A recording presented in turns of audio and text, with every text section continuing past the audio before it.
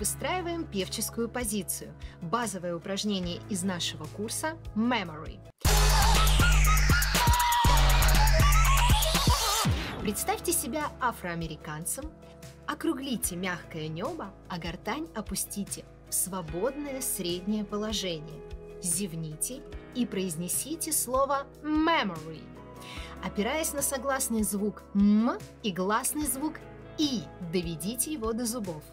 А гласные звуки «э» и «о» средуцируйте в английский звук «ар». Следите за тем, чтобы гласные звуки не выпадали изо рта.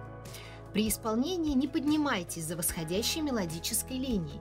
Останьтесь в позиции первой ноты. Улыбнитесь и поехали!